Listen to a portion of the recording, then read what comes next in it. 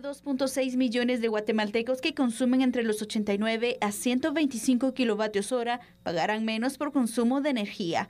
Esto tras la aprobación que realizó el Congreso de la República para incrementar el rango de beneficiarios de tarifa social eléctrica el cual tendrá una vigencia de seis meses. Principalmente nos damos cuenta que el Congreso sigue trabajando por la gente, por los más necesitados y que nos hicimos presentes acá. Quisimos aprobarlo de urgencia nacional, lamentablemente nos dieron dos, falta dos votos, pero se dan cuenta que estamos acá firmes para continuar apoyando a la población. Es durante seis meses. Para cubrir el subsidio, el Congreso decretó aumentar 197 millones de quetzales al presupuesto del Instituto Nacional de Electrificación. El presidente del INDE, Melvin Ernesto Quijivix, se refirió a la aprobación del decreto. Han desarrollado para llevarle un aporte directo a todos los usuarios que consumen menos de 125 kilovatios hora. Este es un esfuerzo que se hace desde el Congreso de la República en conjunto con el Gobierno Central y el Instituto Nacional de Electrificación para proveerle energía a las personas, a los usuarios, a los guatemaltecos que más lo necesitan. Estamos comprometidos con llevar este, este desarrollo a todas las comunidades y por eso estamos impulsando un plan ambicioso de electrificación rural, el cual permitirá ampliar esa cobertura que tanto se necesitan y llegar a todos los guatemaltecos. Según datos del INDE, son más de 446.063 hogares los que consumen entre los 89 a 125 kilovatios hora al mes y que se suman a los más de 1.9 millones de beneficiarios de la tarifa social eléctrica que consumen entre los 1 a 88 kilovatios hora, lo que dará un total de 2.3 millones de hogares que gozarán de dicha tarifa. Muy bien, se aumenta entonces la tarifa social, el beneficio que se va a otorgar a los eh, pues, usuarios. De esta manera, licenciado Clavería, ¿será que sí va a ayudar a paliar la situación económica este beneficio que se da a la tarifa social, este aumento? ¿Cree que cuál puede ser el resultado que se puede tener entonces de la aprobación de esta ley?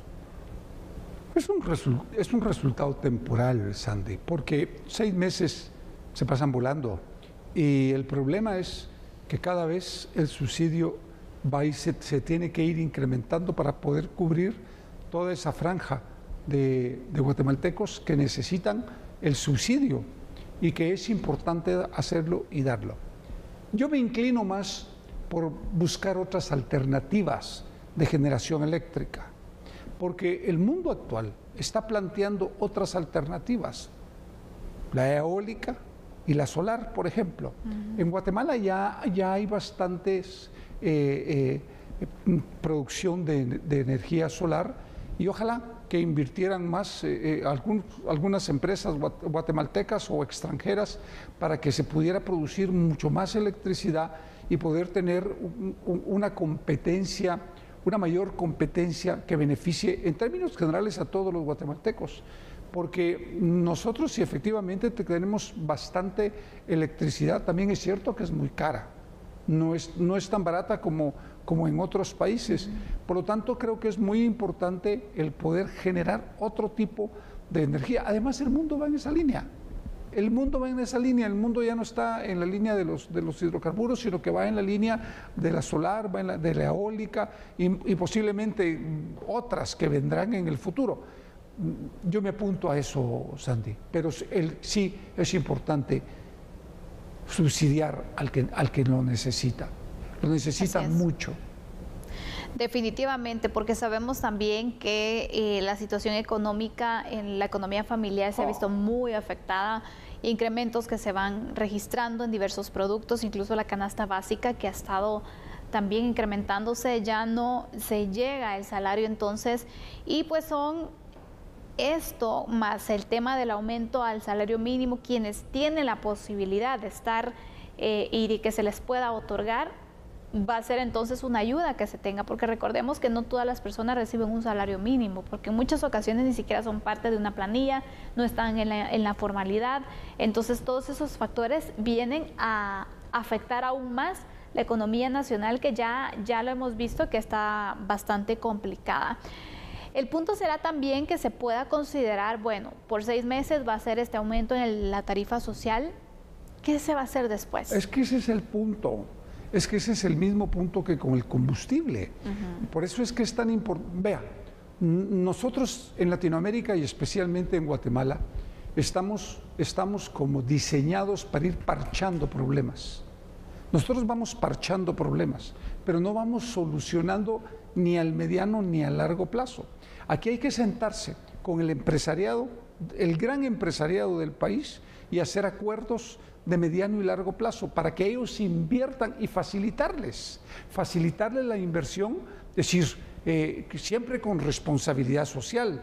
No se trata de como el asadón solo para adentro y que se les olvida a la gente. No, no, no. Es decir, con responsabilidad social para que efectivamente ganen plata, ganen bastante plata, pero que la gente también tenga precios, precios justos y moderados. Y yo le puedo asegurar que uno se puede sentar con ellos a, hablar de muchos temas, desde la generación eléctrica, de carreteras, de puertos, de, aeropuertos, de muchas cosas, y se puede uno sentar a hablar con ellos y negociar.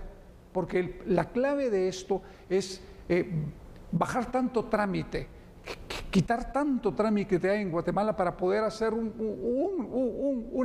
un, solo proyecto y dar la oportunidad para que ellos inviertan y si no quieren invertir ellos, pues buscar las inversiones extranjeras, pero generando certeza jurídica y seguridad, que es lo mínimo que, que los empresarios necesitan para, que, para ver su, su inversión, que regrese su inversión más su ganancia. Exactamente, son algunos de los puntos entonces que se esperarían y que tienen que dar continuidad de hecho a este esfuerzo. No vamos a demeritar el logro que se ha obtenido y el avance que se ha dado, este apoyo que se otorga a la ciudadanía, porque sí es necesario y pues está bien, pero no tenemos que ser solo reactivos, sino tener que pensar un poco más establecer metas a corto, mediano y largo plazo, incluso para dar solución a crisis como las que se están presentando, que por diferentes factores se pueden venir dando también. Entonces, ¿qué plan se va a tener para accionar? Esto es lo que se tiene que ir pensando y creo que se tiene que entender en este y otros temas también que eh, ponen en crisis al país para eh, poder ser más previsores, para poder ir más allá de la situación actual, porque se vence el plazo y después que vamos a estar viendo una ampliación si se va a dar o no, de dónde se van a tener los recursos, cómo es que se va a lograr. Y mientras tanto nos quedamos entonces a la espera, la población se queda a la espera de qué respuesta se le va a dar también. Entonces, por eso mismo es que esperamos el seguimiento desde ya a los planes después de esos seis meses. Vamos a ir con unos datos también para poder brindarle otra información respecto al tema. Porque el Congreso de la República entonces fue el que aprobó el decreto 1-2023, que es la ley de fortalecimiento al aporte social de la tarifa eléctrica. La propuesta garantiza los recursos financieros destinados al aporte social para los usuarios de esa tarifa eléctrica. Esta normativa amplía la tarifa social de energía eléctrica y beneficiará a usuarios que consuman entre los 89 a los 125 kilovatios por hora la medida autoriza al Instituto Nacional de Electrificación a otorgar un apoyo social temporal por seis meses, comprendidos entre enero a junio del 2023.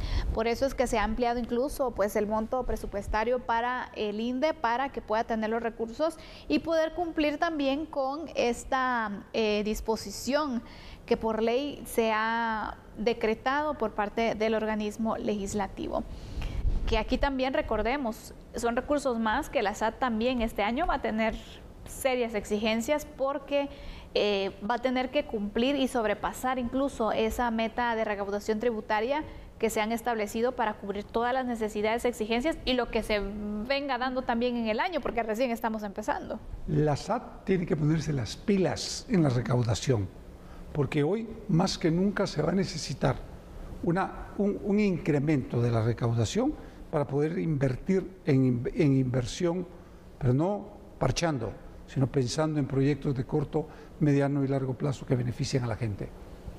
Así es, entonces le hemos abordado a usted esta situación que de verdad puede ser un respiro momentáneo para los, eh, los usuarios, los consumidores, este aumento a la tarifa social, pero también creo que el Estado tiene que hacer su parte la población también tiene que ver de qué manera logra controlar, incluso hacer un presupuesto, ver de qué forma se puede eh, controlar un gasto porque creo que esto va a ser muy importante también.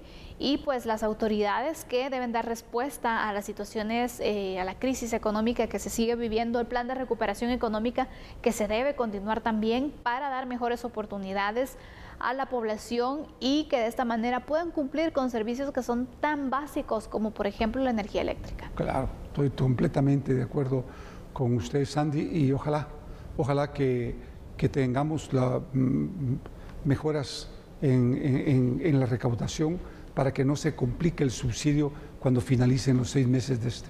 Así es.